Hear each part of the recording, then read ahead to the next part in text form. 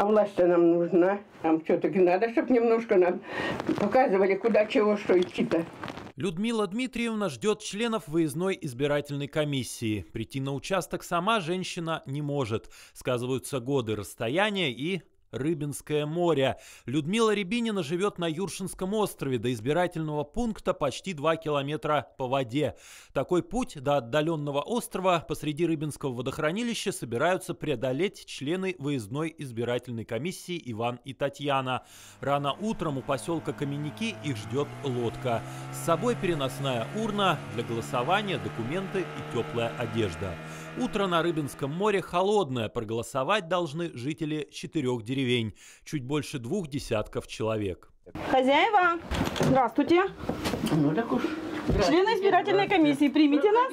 Проходите, проходите, проходите. Не натоптать бы вам здесь. Проходите, проходите. Людмила Дмитриевна, Угу, хорошо. вашу подпись, пожалуйста.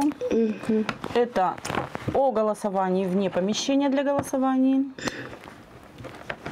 Здесь за бюллетень, который я вам сейчас выдам. Половина домов на Юршинском острове заброшена. Сказывается удаленность от цивилизации. Иметь свою собственную лодку на Юршинском острове – дело почетное. Работы здесь нет никакой, а пароход на Большую Землю ходит всего лишь один раз в сутки. А добираться-то надо туда и обратно. Из благ цивилизации здесь нет практически ничего. Ну вот есть только электричество, да, один колодец на всю деревню. Найти желающих проголосовать не так-то просто. Многие на острове не прописаны, кто-то без паспортов.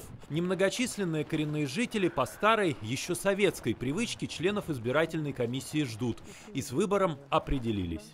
В любом из квадратиков за кандидата ставите любой знак, галочку, крестик, кружочек, какой хотите. Берите кого-то знакомых. Вижу, вижу. Рамона вижу. Эта выборная кампания в практике Татьяны и Ивана не первая. Географию Юршинского острова члены избирательной комиссии изучили давно. Мы находимся, это деревня Антонова, Юршинский остров.